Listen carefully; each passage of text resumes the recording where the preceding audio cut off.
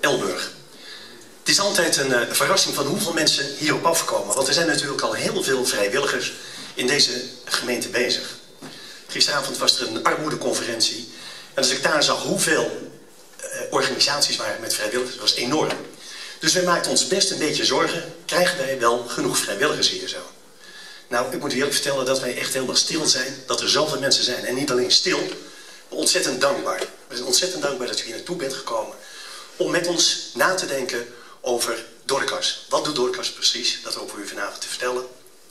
Wat willen wij heel graag? Dat willen we u graag vertellen. En wat wij heel graag willen is dat u straks tegen ons zegt... wij worden allemaal vrijwilliger. Nou, na deze woorden, wie wordt de vrijwilliger? Nou, er zijn er niet veel, dus we moeten nog heel hard werken.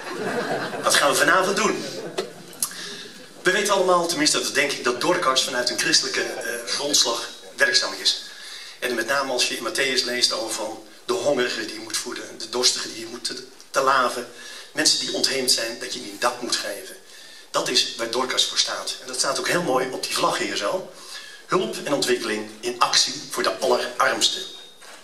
Nou, hoe mooi is het nou als je hier vandaan, vanuit het Elburgse, bij kan dragen aan de armoede in de wereld. Hoe? Door heel veel geld te geven? Hoeft niet. Nee, door een stukje van je tijd te investeren in bijvoorbeeld een Dorcaswinkel. Het kan natuurlijk ook andere vrijwilligerswerk zijn. Maar we staan hier vandaag echt puur voor Dorcas. En ik ben ook uh, enorm dankbaar. We zijn eigenlijk pas 14 dagen aan de gang. En, en dingen, die uh, toevalligheden, die bestaan niet. Maar sommige dingen die komen wel heel mooi samen. Ik uh, ging zo richting mijn pensioen. Ja, ik ben al 65. Nou, zou je niet zeggen. Dank u wel. Maar toen zei ik tegen mijn vrouw... Straks, als ik met pensioen ben, ik kan niet stilzitten... wil ik minimaal twee dagen in de week vrijwilligerswerk doen. En dan ga je eens kijken, waar zou ik dat dan willen doen? Nou, een van de organisaties was Dorcas. Nou, ik ben ook anderhalf jaar lang lid, voorzitter geweest van een businessclub hier in Elburg... waar ik nog elke woensdagochtend naartoe ga. Elke woensdagochtend kwart voor zeven met 33 ondernemers om te kijken hoe kunnen we elkaar helpen. Niet alleen in omzet, maar ook in persoonlijke groei. Dat is heel mooi. En er komen ook regelmatig gasten. En wat komt er in ieder geval als gast? Eveline Spronk was maar nooit gekomen, daar was ik meer thuis. Relatiemanager van Dorcas. Er zijn hele leuke gesprekken uitgekomen. Dat was woensdags dat ze bij ons was. Smiddags belde ze me op, kan ik met een collega langskomen? Dat was vrijdags.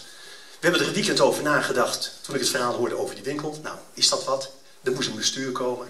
Normaal is het zo dat je mensen hebt en dan zoek je een winkel bij. Nu hadden we een winkel en er moest een bestuur bij komen. Nou, het weekend erover nagedacht. 9 uur, maandag telefoontje. Heb je erover nagedacht? Ik zei, jullie wel. Dat, dat, klopt dus wel. Weer een afspraak gemaakt met Frans Koedijk en met uh, Klaas Boersma om tafel gezeten. En dat klikte zo ontzettend mooi. Want je hebt natuurlijk je eigen ideeën van hoe zo'n winkel eruit moet zien. Wat past het ook binnen het stramien van een doorkast? Dat moet passen. Nou, dat paste aan alle kanten. We hebben elkaar een hand gegeven en we zeiden, we gaan ervoor. Nou, ik moet ook vertellen dat binnen eigenlijk een week tijd was het bestuur ook gevormd. Ik ben ontzettend dankbaar dat dat eh, bestuur er is. En dat ik daar voorzitter van mag zijn. Wat mooi van voorzitter is, hoef je niet zoveel te doen. Je moet gewoon zo eens allemaal hard werken.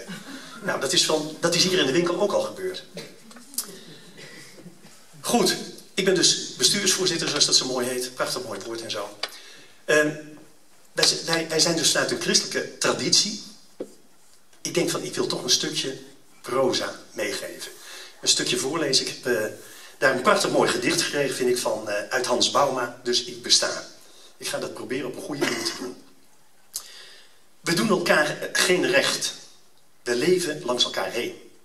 Wanneer onderbreken wij onze weg? Doorkruisen wij onze plannen? Om bij te staan wie geen helper heeft. Wij laten ons leven zo verlopen dat wij geen onophoud hebben wij gaan het verdriet uit de weg.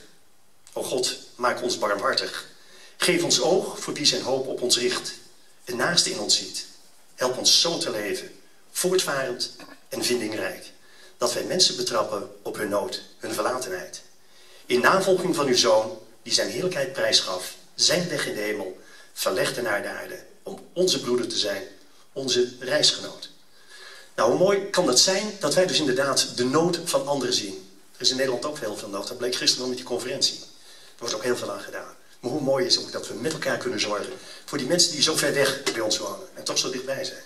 En dan roepen sommige mensen, ja joh, dat is een druppel op een gloeiende plaat. Maar de zee bestaat ook uit heel veel druppels. Laten wij nou zorgen dat we heel veel druppels met elkaar maken. En een zee van liefde brengen naar die landen die het zo hard nodig hebben.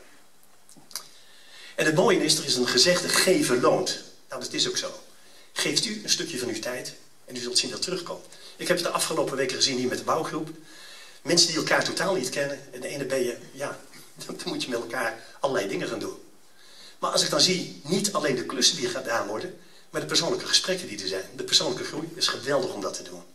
En ik daag jullie allemaal uit, joh, word vrijwilliger. Moet je kijken, niet alleen om in die winkel bezig te zijn, ja ook, maar ook voor je persoonlijke groei. Nieuwe mensen leren kennen. Dat is heel mooi om te doen. Geven loont. Goed, ik kan een heleboel meer vertellen, maar ik denk dat het veel beter is dat ik de, de microfoon nu aan Klaas Boersma geef. Die is coördinator winkels. Je overige bestuursleden. De? Je overige bestuursleden. Oké.